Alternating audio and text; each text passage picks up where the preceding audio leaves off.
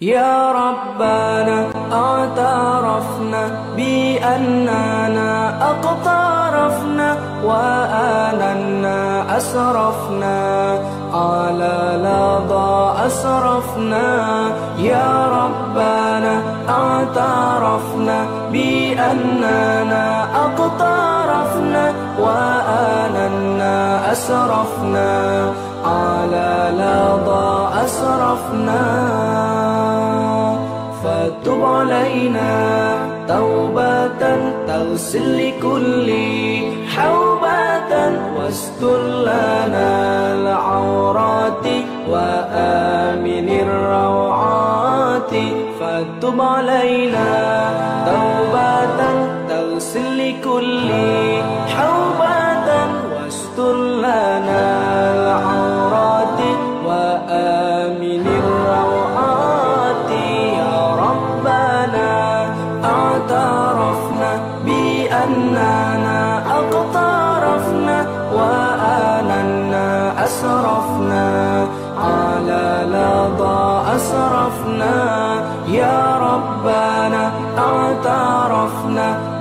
بأننا أقترفنا وآننا أسرفنا على لظى أسرفنا. واغفر لي والدينا ربي ومولودينا والآل والإخوان وسائر الخلان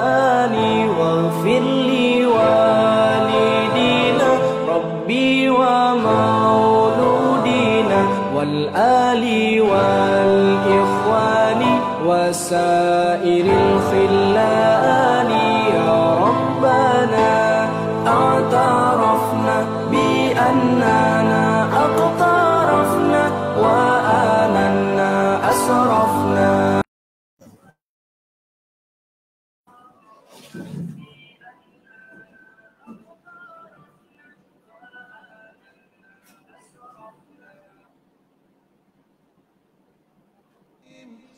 سبحان الله وبحمده.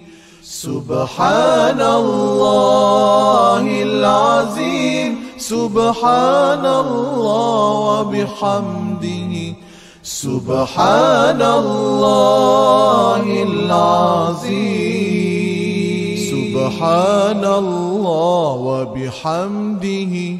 سبحان الله العظيم.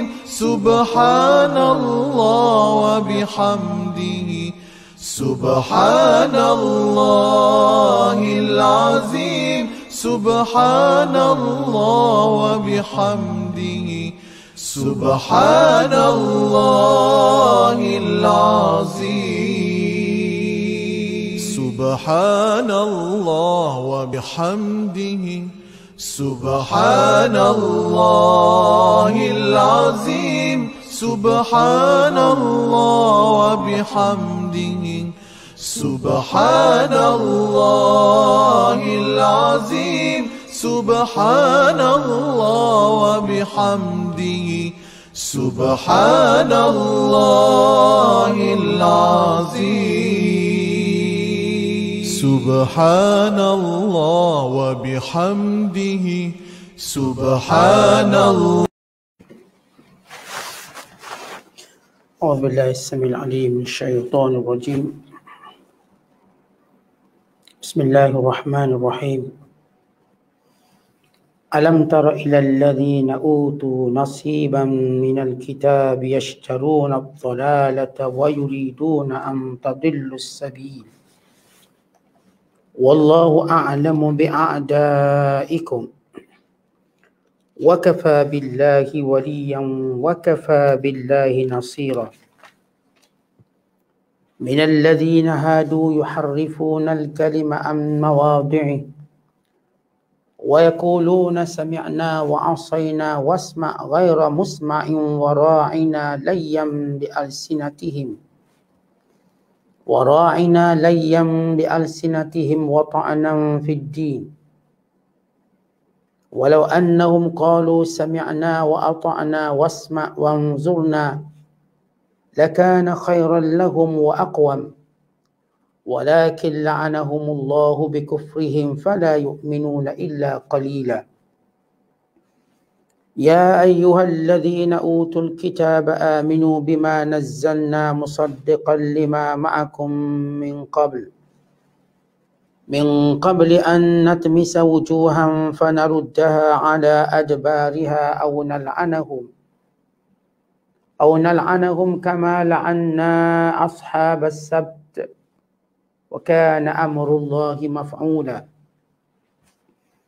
إن الله لا يغفر أن يشرك به ويغفر ما دون ذلك لمن يشاء ومن يشرك بالله فقد افترى إثما عظيما صدق الله العظيم Tidakkah engkau memerhatikan wahai Muhammad orang-orang yang telah diberikan sebahagian dari kitab mereka memilih kesesatan dengan meninggalkan petunjuk Tuhan dan mereka pula berkehendak supaya kamu juga sesat jalan dan Allah lebih mengetahui berkenaan dengan musuh-musuh kamu. Oleh itu awasilah angkara musuh kamu itu. Dan cukuplah Allah sebagai pengawal yang melindungi. Dan cukuplah Allah sebagai penolong yang menyelamatkan kamu dari angkara mereka. Di antara orang-orang Yahudi, ada yang mengubah atau menukar ganti kalamullah, isi kitab Taurat dari tempat dan maksudnya yang sebenar. Dan berkata kepada Nabi Muhammad, kami dengar. Sedang mereka berkata dalam hati, kami tidak akan menurut. Mereka juga berkata, tolonglah dengar Tuhan tidak diperdengarkan sesuatu yang buruk. Serta mereka mengatakan ra'ina. Tujuan kata-kata mereka yang tersebut hanya memutabelikkan perkataan mereka dan mencela agama Islam. Dan kalaulah mereka berkata, kami dengar dan kami taat. Dan dengarlah serta berilah perhatian kepada kami. Tentulah yang demikian itu lebih baik bagi mereka dan lebih betul. Akan tetapi Allah melaknat mereka dengan sebab kekufuran mereka. Oleh itu mereka tidak beriman kecuali sedikit sahaja di antara mereka. Wahai orang-orang yang telah diberikan kitab. Berimanlah kamu dengan apa yang telah kami turunkan. Al-Quran yang mengesahkan kitab-kitab yang ada pada kamu. Sebelum kami menyeksa dengan menghapuskan bentuk muka kamu sehingga berubah menjadi rata tidak bermulut, berhidung dan bermata. Lalu kami menjadikannya sama seperti rupa sebelah belakangnya. Atau kami melaknat mereka sebagaimana kami telah melaknat orang-orang dari kaum mereka Yahudi yang melanggar larangan bekerja pada hari Sabtu. Dan ingatlah perintah Allah itu tetap berlaku. Sesungguhnya Allah tidak akan mengampunkan dosa syirik. Mempersekutukannya dengan sesuatu apa jua. Dan akan mengampunkan dosa yang lain dari itu bagi siapa yang dikehendakinya. Menurut aturan syariatnya. Sesiapa yang mempersekutukan Allah dengan sesuatu yang lain, maka sesungguhnya ia telah melakukan dosa yang besar. Ayat yang ke-44 sehingga ayat yang ke-48 yang kita bacakan pada malam ini masih lagi dalam surah An-Nisa. Surah yang keempat pada juzuk yang kelima. Ayat-ayat yang kita bacakan ini menceritakan tentang watak-watak perangai-perangai watak dan kejahatan-kejahatan orang-orang Yahudi. Serta Allah Ta'ala menjelaskan bagaimana kesudahan orang-orang Yahudi tersebut yang sepatutnya mereka beriman kepada Allah dan kepada Al-Quran yang diturunkan. Tetapi mereka ingkar. Maka Allah mengancam mereka untuk dilaknat sebagaimana yang pernah berlaku laknat kepada pelampau hari Sabtu. Yahudi yang melampau perintah Allah pada hari Sabtu. Bahkan Allah mengancam mereka dengan dihilangkan wajahnya. Tak ada mata, tak ada hidung dan tak ada mulut. Sehingga muka mereka menjadi lurus. Atau dengan kata lain, hilang segala panca indera pada wajah. atau mereka akan dikalahkan selama-lamanya. Dan Allah Ta'ala mengingatkan kepada semua manusia. Siapa sahaja yang mensyirikkan Allah tidak akan diampuni. Dan siapa sahaja yang mendustakan Allah, dia melakukan dosa yang amat besar. Kalau sebelum ini kita baca ayat yang ke-43 bahkan sebelum itu menceritakan tentang perintah-perintah Allah kepada orang beriman. Menyebut bagaimana orang beriman melaksanakan perintah Allah dan tidak membantah perintah Allah SWT. Maka Allah memberi contoh bagaimana patuhnya orang beriman melalui ibadat solat. Daripada pengharaman melakukan solat dalam keadaan mabuk sehinggalah diharamkan terus arak. Maka orang beriman ternyata patuh dan taat. Dan Allah Ta'ala memerintahkan orang beriman bertayamum dengan tanah, dengan debu yang bersih. Maka orang beriman juga tak banyak dolak dalihnya. Terus taat dan patuh kepada Allah Ta'ala. Mereka yang disebut sebagai orang-orang yang mendapat pahala yang besar. Namun pada ayat ini pula dia beri contoh orang yang paling degil sekali. Kalau sebelum ini diceritakan watak orang beriman tunduk patuh dengan perintah solat, perintah meninggalkan arak, perintah untuk mandi wajib, perintah berwuduk, perintah bertayamum. Maka perintah-perintah tersebut orang beriman dengan mudah mematuhinya. Walau bukanlah senang meninggalkan arak yang sekian lama diminum. Tapi orang beriman yang sebenar iman boleh tinggalkannya. Bukan senang daripada selama ini lalai untuk solat. Bukan senang selama ini. Tak pernah peduli mandi wajib tiba-tiba. Disyariatkan mandi junub dan mereka mematuhinya. Bukan disyariatkan berwuduk. Bukan disyariatkan bertayamum. Tuan-tuan kalau fikir, buat apa nak guna debu letak kat muka? Buat apa nak letak debu kat tangan? Kalau tak ada air, sudahlah. Tetapi nak tunjuk betapa patuh orang beriman kalau Allah suruh debu pun mereka buat kerana mereka, mereka yakin di sebalik perintah Allah itu pasti ada kebaikan. Dan sifat mereka yang tidak berdolak dalih. Lalu Allah menyebut satu watak yang berdolak dalih. Satu watak yang derhaka kepada Allah. Yang dengan sebenar-benarnya. Itu watak Yahudi.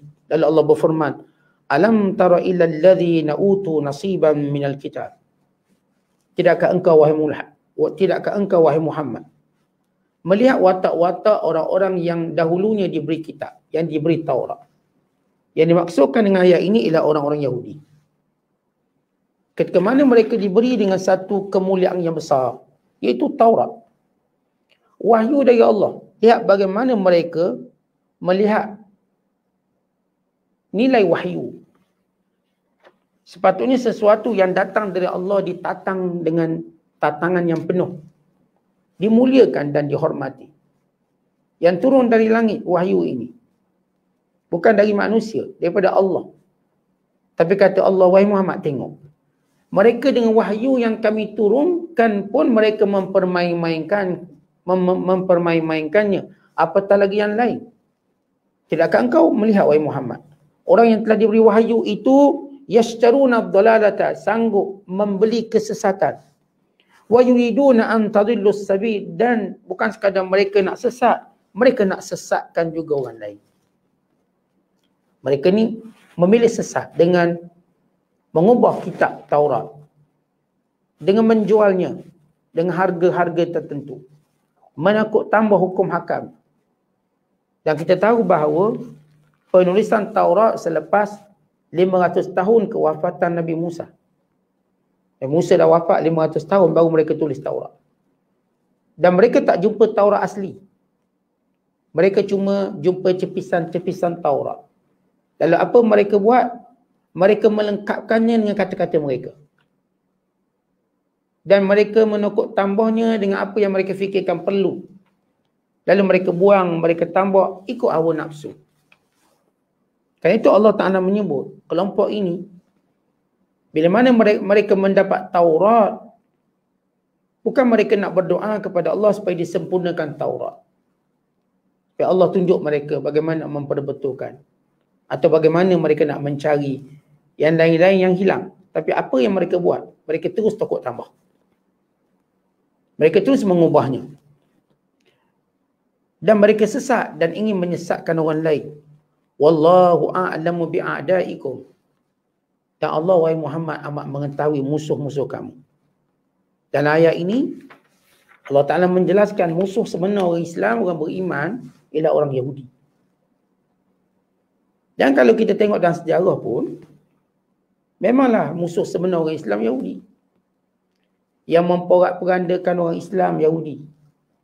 Yang menanam benih-benih kebencian sesama orang Islam Yahudi. Sebagaimana mereka lakukan pada Aus dan Khazraj. Mereka terus melaga-lagakan umat Islam, negara umat Islam.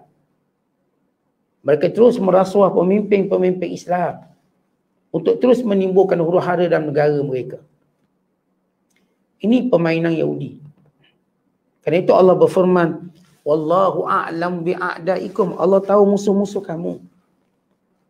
Allah yang kita tahu bila kita buka Quran, watak jahat yang paling banyak Allah tunjukkan ialah watak-watak Yahudi. Buka Quran.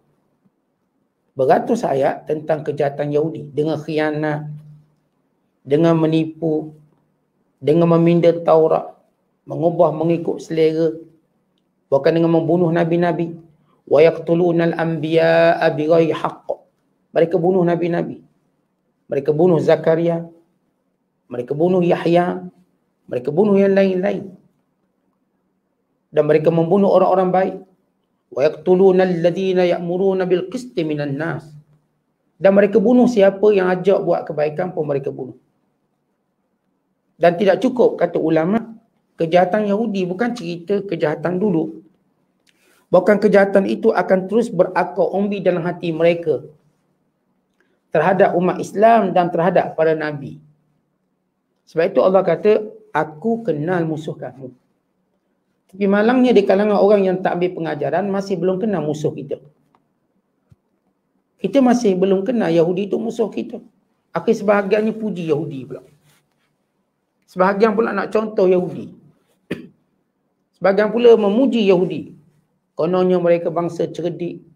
Mereka bangsa khianat, penipu. Tuhan tak pernah sebut pun Yahudi ni bangsa cerdik. Tapi kita tuan-tuan ditipu kononnya Yahudi lah bangsa cerdik. Bangsa paling bijak. Yahudi lah yang buat benda tu, benda ni. Sebenarnya tidak. Yang cerdiknya orang-orang beriman. Tetapi orang beriman, mereka ini telah ditipu untuk mengatakan mereka tak bijak. Orang beriman seperti gajah yang telah diikat kaki daripada kecil. Kononnya mereka tak kuat melepaskan diri mereka. Walau sekarang mereka dah besar dengan satu hentakan mereka boleh meruntuhkan seluruh khemah. Tapi mereka masih ditipu. Kononnya Yahudi cerdik, Yahudi kuat, Yahudi itu, semua Yahudi. Lalu kita seperti merasakan kita tak boleh lawan Yahudi. Sebab Yahudi ni yang sokong dia mereka.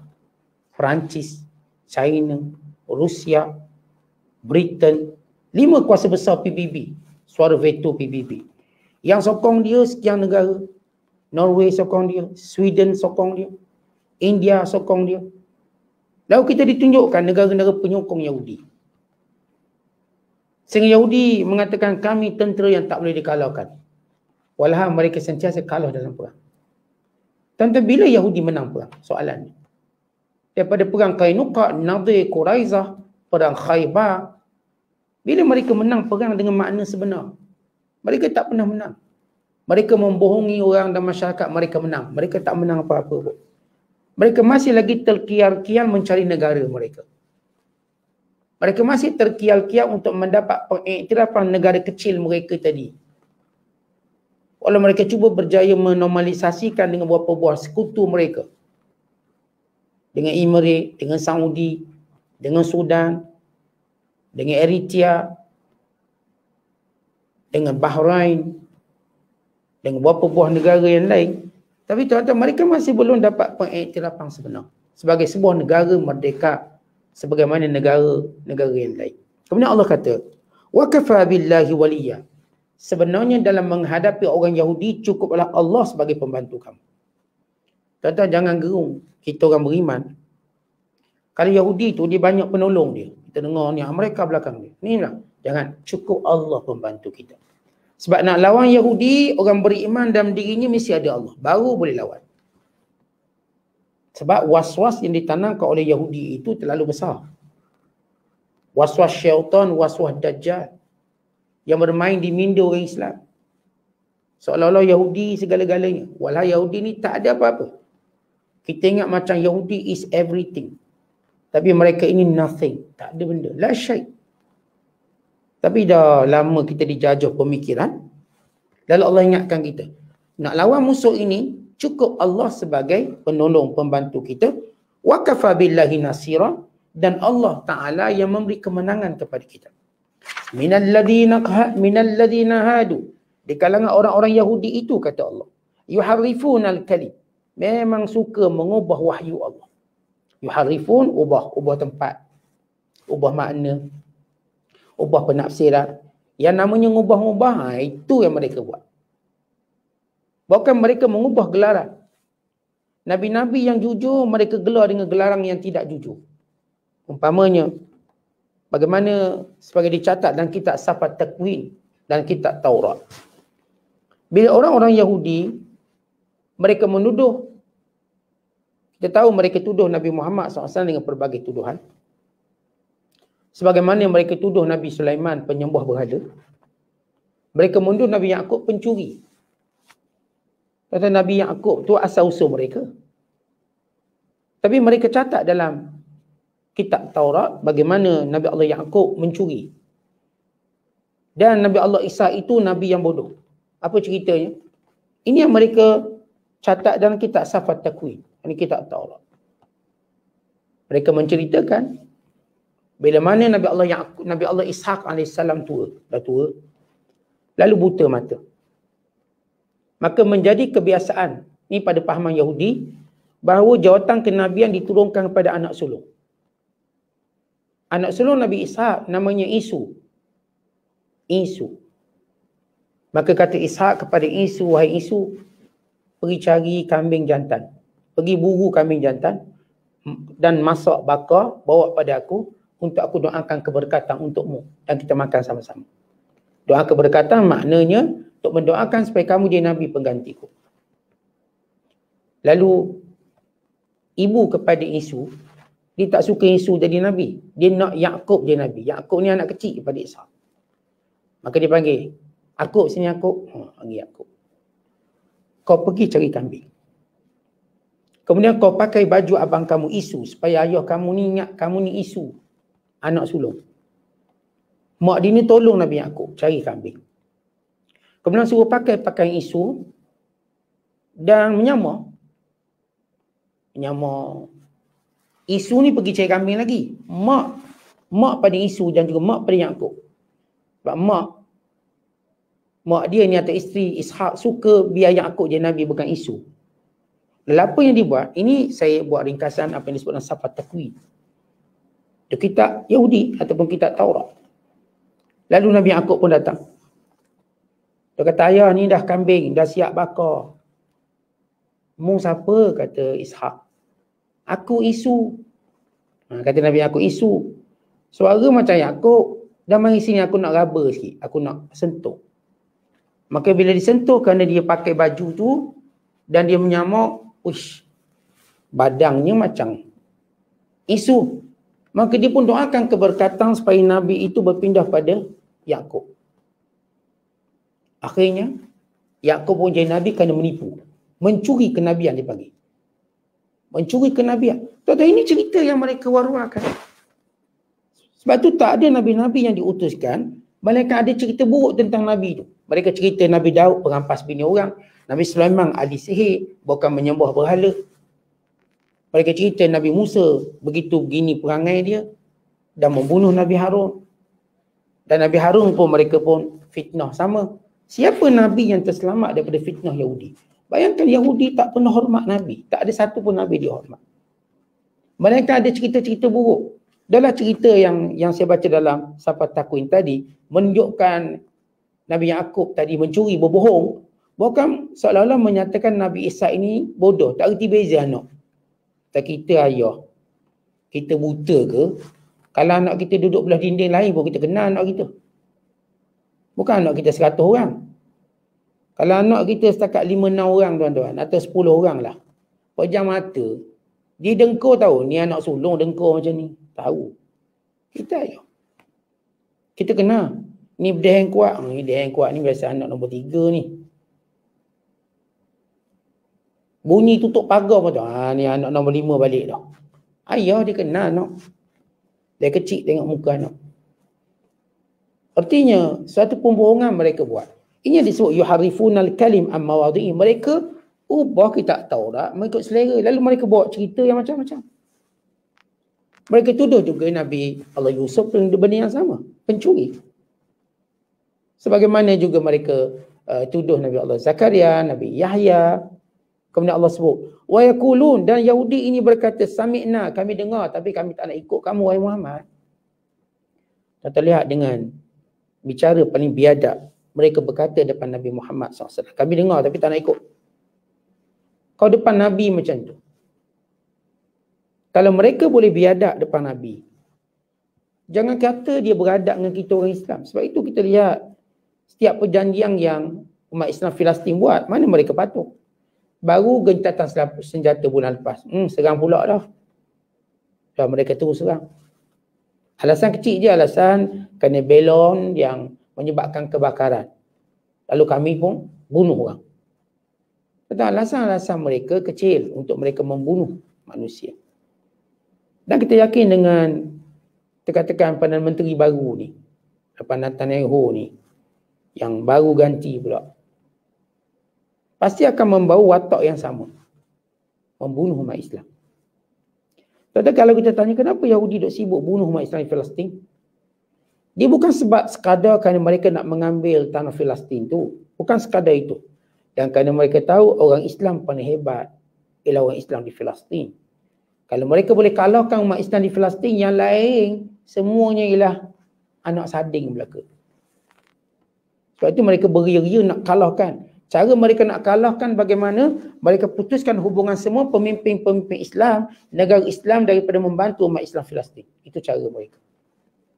Biar Mesir tak tolong, biar Qatar tak tolong, biar Iraq tak tolong, biar Imrik tak tolong, biar Saudi tak tolong, biar Yaman tak tolong biar Malaysia tak tolong, Indung tak tolong, mereka akan buat macam-macam.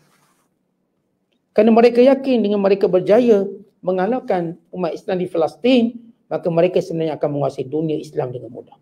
Tapi Masya Allah, Nabi dah janji umat ini akan sentiasa bangkit. Bertahan, tidak akan dikalahkan walau apa pun berlaku. Walaupun dibiarkan terkontang-kanting seorang diri berperang, mereka tetap akan bertahan. Kerana ini janji Allah dan Rasul. Dan itu yang kita lihat. Macam mana pun di pulau tidak dipedulikan oleh orang Islam, mereka tetap kuat. Kemudian Allah menyebut, wasma ghaira musma'in. Mereka tidak mendengar dengan sebenar-benar pendengaran. Artinya kalaulah mereka dengar, tapi mereka buat tak dengar.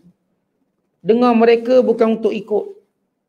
Kata kita kan kalau duduk dengar kuliah, duduk dengar ceramah, dengar kita, kita nak ikut, kita nak ubah.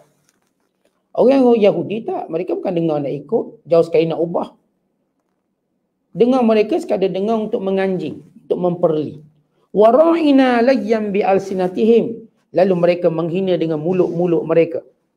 Perkataan wara'ina layyam bi alsinatihim yakni mereka menghina dengan lidah-lidah mereka. Wa ta'nan fid din dan menghina agama. Sebab itu orang Yahudi tuan-tuan mereka buat satu cara bagaimana nak hina agama Islam. Mereka tahu kalau mereka menghina agama Islam akan ditolak penghinaan. Lalu mereka melatih segelintir orang Islam, khususnya orang-orang munafik ini untuk menghina Islam dari dalam. Akhirnya kita dengar lidah-lidah yang menghina agama. Tuan-tuan tak akan dengar Yahudi menghina agama Yahudi walau teruk seleweng dia. Walau bunuh Nabi, mereka tetap reda dan setuju. Dan mereka bila nak menghina agama kita, mereka tak mungkin dapat menghina direct. Lalu mereka melatih. Lalu mereka membentuk kelompok-kelompok orang Islam yang lemah agama, yang jahil, yang bodoh. Yang boleh dibeli dengan duit dan jawatan. Yang boleh dibeli dengan kemewahan untuk menjadi lidah-lidah mereka. Akhirnya kita dengar kelompok-kelompok orang Islam yang menghina agama. Yang menolak pembahagian faraid. Yang menolak poligami. yang menolak sistem perkahwinan, yang menolak banyak undang-undang dalam Islam. Ini tuan-tuan, siapa yang menghina? Kalau kita tengok latar belakang orang ni yang menghina agama kita, daripada mana mereka belajar? Mereka bukan belajar sekolah agama, mereka bukan belajar pondok-pondok, mereka bukan belajar institusi Islam. Tapi mereka dilatih oleh barat, oleh sistem pendidikan mereka. Akhirnya datang orang Islam ni yang menghina solat. Datang yang menghina puasa, yang menghina menutup aurat. Datang yang menghina pelbagai hukum hakam agama. Dan mereka sengaja untuk menyemarakkan perbalahan sama orang Islam. Mereka membentuk izam-izam fahaman-fahaman ideologi yang buruk mereka ekspor ke negara Islam. Lalu orang Islam sebahagiannya celaru dengan agama. Aneh. Saya katakan Yahudi, mereka tak hina agama dia. Mana ada Yahudi tulis tentang agama dia, memburuk-burukkannya. Jauh. Tetapi dah ada orang Islam yang memburuk-burukkan ajaran agama. Menolak pensyariatan puasa, haji, menutup aurat, pembahagian pusaka, hukum Islam dalam bab poligami, hukum Islam dalam bab-bab yang lain. Baik ini ta'nang fiddin penghinaan agama. Walau annahum kalau Yahudi Yahudi ini kata Allah. Qalu sami'na kata kami dengar kami patuh. Wasma dan kami benar-benar ingin perhatian daripada-Mu wahai Muhammad. Wangzurna tolong beri perhatian kepada kami lakana khairul lahum. Nesai baik untuk mereka. Kalau mereka dengar-dengar, dengar baik-baik dengan apa yang Rasulullah SAW sampaikan. Kalau ada yang mereka iskal, mereka ragu-ragu, kan mereka bertanya. Dan minta Rasulullah SAW berikan perhatian untuk soal jawab mereka. Lakana khairullah. Ya benar. Dan diri manusia ni tuan-tuan ada pelbagai iskal, pertanyaan, persoalan. Tidak salah kita menceritakan persoalan yang menghantui diri kita. Saya ingat bila ada seorang hamba Allah, dia nak masuk Islam. Antara soalan yang saya tanya dia. Dan ini soalan-soalan yang saya akan tanya kepada mana-mana orang-orang yang memeluk Islam. Yang saya Alhamdulillah Allah beri satu nikmat mengislamkan beberapa orang dalam pengalaman dakwah kita yang tak seberapa ini. Antara benda saya akan tanya apa yang menimbulkan persoalan dari diri kamu. Maka mereka pun kata kami tengok dalam Quran ni begini, kami tengok dalam hadis ni begini, begini. Sila. Kita minta. Apa yang jadi iskal, apa yang keramat sila keluarkan. Lalu kita terangkan. Kita jelaskan. Sebab tuan-tuan kita tak boleh membendung persoalan-persoalan yang timbul. Tak boleh. Sebab itu fitrah. Manusia ni kan suka bertanya. Dan apa yang dilihat jadikan konstruksi. Dia seorang yang baru memeluk Islam. Dan hari ini Alhamdulillah dia jadi pendakwa. Bila dia duduk dengan saya, dia katanya, Ustaz saya nak tanya banyak persoalan. Yang menjadi keraguan saya. Maka ditanya satu persatu persoalan. Ah, Alhamdulillah kita jawab. Jawab berdasarkan hujah yang kita tahu. Lalu dia rasa macam seronok. Walau dia dah lama memeluk Islam masih ada. Dan kita pun. Kadang-kadang kalangan kita ada persoalan tentang Islam. Tak ada masalah kita minta ustaz-ustaz kita tolong beri masa ustaz untuk jelaskan pada kami beberapa iskal, beberapa kemuskilan kami tentang hal agama. Kenapa Islam menjadikan begini, begitu? Hikmahnya apa ustaz? Maka ini tidak salah. Kali itu Allah sebut pada orang Yahudi. Kalau mereka berkata, kami dengar kami patuh, wasma tolong berikan perhatian kepada kami, wangzurna tolong beri waktu kepada kami untuk persoalan-persoalan kami, lakana khairal lahum wa aqwam. Nasai itu lebih baik. Dan itu akan mengukuhkan lagi akidah kamu. Kukuh. Tentang sebahagian Yahudi datang tanya Rasulullah SAW. Wahai Muhammad, kami nak tanya. Bagaimana terjadi lelaki dan perempuan? Kami nak tanya tentang lelaki yang tawaf dunia. Kami nak tanya tentang pemuda yang tidur dalam gua. Maka Rasulullah jawab. Yang menandakan dia Nabi. Dan sebagian mereka tanya, Wahai Muhammad. Bila seorang itu makan dalam syurga, mana perginya makanan? Kalau kamu kata dalam syurga tak ada berak, tak ada kencing. Lalu kata Nabi SAW. Bila seorang makan, apakah semua dia berak, dikeluarkan? Jawabnya tidak. Sebagian dikeluarkan. Sebagian lagi duduk kat mana? Dia pergi ke tubuh. Maka makanan syurga itu semuanya baik. Maka semuanya ke tubuh. Kita tuan-tuan kalau kita makan. Sekilo lah kita makan. Kita makan ni daging harimau menangis sekilo. Cicau roti. Adakah lepas tu kita berak sekilo? Macam tu ke kiraan kita? Makan sekilo, berak sekilo. Mungkin kita berak sikit. Mungkin tak berak dua hari tu. Kau makan daging harimau menangis ni, tak berak dua hari. Lepas tu makan benda lain pula. Duk kira-kira makan dia lima kilo. Itu tak campur buah-buahan, tak campur air. Tapi bila kita qada ajak, berapa? Sekilo setengah dia keluar. Mana pergi yang lain? Yang lain mungkin sebab dia makanan baik, dia pergi pada darah daging kita. Maka makanan syurga semua baik-baik. Maka dia tak akan keluar melain aja dia akan pergi ke tubuh semua. Kerana itu Allah jadikan tubuh ahli syurga sesuai untuk meresap semua makanan tersebut. Tubuh kita tuan-tuan kat syurga bukan besar ni. Nabi dah sebut tubuh kita ketinggian Adam. Adam, makhluk paling tinggi dalam dunia. Nabi Adam ni besar pada dinosaur lagi. Dinosaur tu kecil. Dinosaur tu macam anak ayam. Tapi kita ditipu dengan sejarah. Kononnya manusia zaman dulu kecil, binatang besar. Tak. Adam diturunkan, dia lah makhluk paling besar sekali. Makhluk lain kecil. Makhluk lain kalau kita sebut ada tirek lah apa. Itu macam ayam hutan je tuan-tuan. Boleh tangkap macam tu je. Tapi kita belajar sejarah halal kafir. Memanglah dia ajar kita ni kecil jumpa binatang kat saksa besar dinosaur lepas tu kita pula tak pakai baju telanjang lepas tu suara pun tak bunyi bunyi huha huha macam gitu itu sejarah orang kafir sebab dia bodoh cari cerita sejarah dia bodoh umat Islam Allah beri ilmu cerdik cara kita cerita sejarah awam manusia pun cerdik datang daripada syurga mereka datang daripada monyet ini cara orang bodoh berfikir orang Islam Allah beri panduan dan wahyu kita datang daripada Adam Adam tu duduk kat syurga berkahwin di syurga Kemudian turun di muka bumi berkembang biak zuriat keturunannya. Adam turun sebagai makhluk paling alim sekali. Bukan ilmunya tidak diketahui oleh mereka. Dua alimnya. Maka dia kenal semua. Maka tuan-tuan lihat. Orang dulu duk kata orang dulu bila dia muncul tak tahu apa tak ada ilmu. Nulis tak pandai. Boleh lukis je. Lukis pun kat gua-gua. Tuan-tuan ini mereka duk kaji orang asli. Akhirnya mereka jumpa konstruksinya begitu ya sentiasa orang bodoh, cara konstruksinya pun bodoh. Orang cerdik, konstruksinya pun cerdik. Maka ini kisah sejarah manusia. Kemudian Allah sebut, Walakin la'anahumullah, tapi Allah melaknat Yahudi. Bikufrihim, kerana kekufuran mereka. Kerana tuan-tuan kufur tadi bukan kufur jahil. Kufur engkar dengki. Khianat kufur Yahudi ini bukan kufur jahil. Kita, kita ingat, ia bukan kufur jahil. Tak macam kufur agama lain. Kufur mereka ialah kufur benci, dengki, kufur keras kepala, melawan dan kufur mereka ialah kufur yang mempermain-mainkan, menghina. Kalau mereka kita sebut dan menghina seluruh nabi-nabi dan rasul-rasul alaihi wassalam, maka apa sangat kita ni? Kalau kita hari ni dengar ya Allah apa Yahudi ni duk tembak budak-budak, kanak-kanak, apa yang kita nak heran mereka dah bunuh orang yang paling mulia pada tu nabi-nabi rasul-rasul. Kalau hari, hari ini kita kata Yahudi tak apa teruk sangat, tak mereka lebih teruk daripada tu sebenarnya. Sebab itu Allah Taala sebut, Allahu a'lam bi'a'daikum. Allah dah kenal lama dah musuh kamu ni. Allah tahu mereka.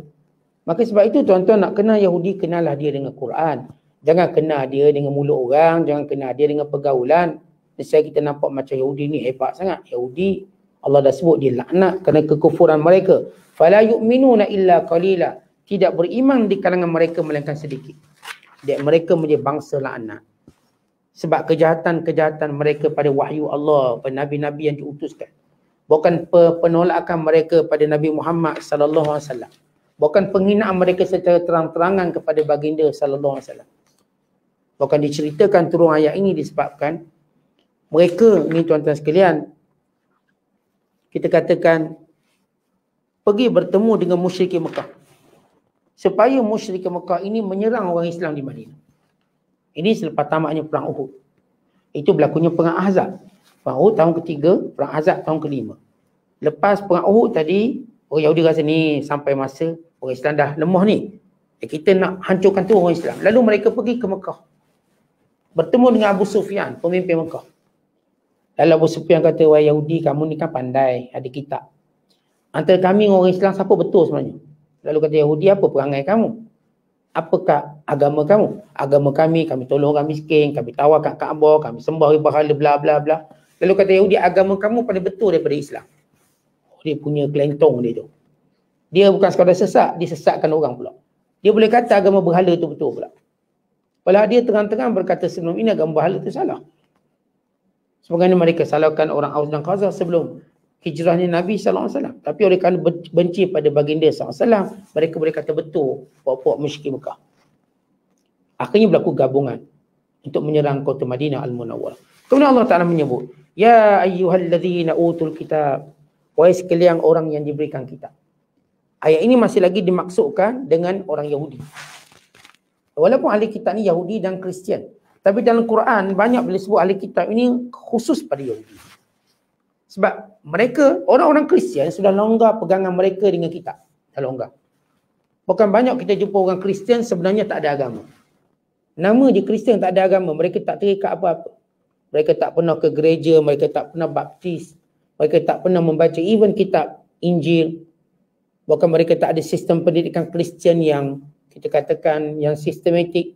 Hampir kita tengok orang Kristian kat dunia hari ini ialah orang yang tak punya agama.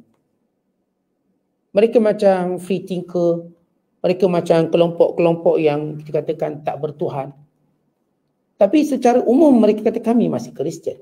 Tapi ada satu survey menceritakan waktu mereka temu duga penganut Kristian, soalan ditanya pernah ke gereja? Yang ni kata tak pernah, ni bertahun tak pernah. Yang ni kata pergi pun tapi kami tak tak buat pun apa dalam ritual.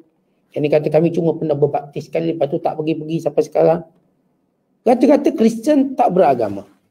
Tapi orang Yahudi ni tuan-tuan memang mereka ada dasar pendidikan agama Yahudi. Anak-anak mereka diwajibkan membaca Taurat. Bila anak perempuan mereka berusia 13 tahun, satu cara untuk menandakan mereka balik ialah mereka mesti membaca Taurat untuk mendapat pengijazahan daripada Rabai atau disebut sebagai uh, pendeta Yahudi. Barulah mereka diakui sebagai Yahudi. Dia ada upacara pengyahudian. Sebab itu kita nampak Yahudi ni lebih kuat berpegang pada kitab berbanding Kristen. Tapi mereka pegang dengan makna dengan bukan pegangan sebagai orang yang beragama, pegangan sebagai orang yang sombong, orang yang sesat. Maka Allah kata wahai orang yang diberikan kitab, berimanlah kamu dengan apa yang diturunkan musaddiqan lima kerana Al-Quran yang diturunkan juga menceritakan tentang Taurat kamu. Injil kamu yang sebenar-benar. Yang kamu duk meraba-raba mencari mana sebenar ajaran Taurat ini. Allah beritahu dalam Quran ada. Sebahagian yang dipinda oleh datuk nenek moyang kamu dulu. Min qabli an natmisa wujuhan. Sebelum kami membinasakan kamu. Allah sebut dalam ayat ini. Natmisa wujuhan. Kami ratakan wajah kamu biar hidung tak ada, bulu kening tak ada, mata tak ada, mulut tak ada, flat macam tu. Setengah ulama menyatakan ini di antara bala Allah pada Yahudi. Allah menjadikan mereka tidak berwajah lagi. Sebagaimana Allah pernah menjadikan mereka sebagai ke dan babi. Setengah ulama kata yang dimaksudkannya ialah mereka berada dalam kekalahan. Sebab itu Allah sebut selepas itu fanaruddaha ala adbariha. Lalu kami jadikan dia seperti belakang. Mana orang ni kalau dia cabut lagi, mula-mula kan ngadap macam ni, paling belakang. Sehingga nampak rata belakang. Lari kecil kepala. Kalau kamu saya sebut lari sampai kecil-kecil kepala. Mana nampak belakang je, rata. Seperti mata, telinga, hidung dah tak boleh berfungsi dalam keadaan kalah. Terhina. Maka ini maksud. Mereka akan dikalahkan. Aunal anahum atau mereka akan dilaknat sebagai dilaknatnya orang-orang yang melampau pada hari Sabtu. Kita dah baca dahulu dalam surah Al-Baqarah sekelompok yang berkata Allah mengharamkan kami bekerja hari Sabtu. Lalu mereka tidak bekerja. Lalu Allah uji hari Sabtu keluar ikan. Lalu mereka buat helah. Pada hari Sabtu mereka menggali parit atau kolam-kolam supaya ikan masuk di situ. Kemudian mereka menutupnya. Hari Ahad mereka menangkapnya. Itu yang mereka lakukan sehinggalah Allah Ta'ala mengubah mereka menjadi monyet dan babi di helah mereka. Sebab Allah bila mengharamkan sesuatu, jangan cari helah. Maka haramnya begitu. Maka Yahudi mencari helah, maka Allah melaknat mereka. Dan Allah memberi amaran. Jangan kamu jadi seperti monyet dan babi yang telah yang pernah kami sumpah. Wa kana amrullahi maf'ula. Apa yang Allah ancam itu pasti terjadi. Bila Allah Ta'ala kata Yahudi akan kalah. Dan ini memang Yahudi akan kalah. Sebab tu dalam diri Yahudi ni tuan-tuan sekalian tak pernah rasa menang. Mereka sentiasa rasa kalah dengan bersaing dengan orang Islam. Sebab apa? Sebab mereka ada dengki. Tuan-tuan sejak bila orang dengki ni dia boleh menang? Orang dengki tak menang. Kalau kita dengki seseorang, Walau tuan-tuan ada segala-galanya, tuan-tuan dah ada harta, tuan-tuan dah ada rumah, ada anak bini. Tuan-tuan dengki seseorang, tuan-tuan tak akan rasa. Tuan-tuan menang. Tuan-tuan rasa macam dikalahkan. Pada orang sebelah tu rumah dia kecil tapi dia bahagia. Oh kita tak puas hati. Macam mana nak roboh rumah dia? Pada orang sebelah tu makan ikan masin, telur masin tapi dia rasa kenyang. Kita makan dengan lamb chopnya, dengan chicken chopnya, semua nama chop-chop kita makan belaka. Tapi kerana ada dengki, kita rasa macam tak kenyang makan ni. Kita dengki pada ikan, orang makan ikan masin. Lalu kita pun minta biar orang ni terus tak boleh beli ikan masin. Ha, macam mana cara nak suruh biar dia tak boleh beli ikan masin? Maka dia pergi borong semua ikan masin kat pasar biar dia tak boleh beli. Jangan makan ikan masin. Kawan ni makan pula benda lain, ikan bili. Dia borong pula ikan Orang dengki. Kita orang dengki, pernah tak dalam hari mereka rasa menang? Tak pernah menang. Dengki itulah sifat orang kalah. Itulah yang ada pada Yahudi. Yahudi ada sifat dengki, sifat orang kalah. Orang beriman tak ada dengki. Bahkan kita sentiasa diingatkan oleh Nabi kita sallallahu alaihi wasallam iyyakum wal hasad fa innal hasad ya'kul hasanat kama ta'kulun narul hata. Jauhilah kamu daripada sifat dengki, kan dengki itu akan menghapuskan amalan kamu sebagaimana api memakan kayu api. Oleh sebab itu Allah Ta'ala menegaskan bahawa ancaman Allah pasti akan berlaku kita katakan bahawa Yahudi akan kalah. Dan Yahudi itu memang ada jiwa kalah. Kenapa mereka ada jiwa kalah? Mereka ada jiwa dengki pada orang Islam. Padahal di Palestin mereka dah ambil hampir 70% tanah Palestin. Mereka tak puas hati lagi. Nak juga yang 30%. Walau 30% tadi bukanlah tanah-tanah yang yang selama ni mereka dapat. Tanah-tanah tepi-tepi dah. Duf Pararbiyah, tepi barat, Gaza, Cipuk je dekat sempadan. Ah tak boleh mereka nak ambil semua. Dengki. Hatta kalau mereka dapat Palestin semuanya pun, mereka akan nak tempat lain pula. Sebab dengki pada siapa? Pada orang Islam. Mereka akan cuba rosakkan semua orang Islam di mana pun berada. Tetapi mereka mulakan di Palestin. Sebab itu tuan-tuan kita jangan biarkan Palestin itu tewas. Kita kena kuatkan. Kerana kekalahan Palestin berarti kekalahan umat Islam semuanya. Dan kita yakin ia tidak akan berlaku kerana janji Allah terhadap umat Islam. Wallahu bishawab. Assalamualaikum warahmatullahi wabarakatuh.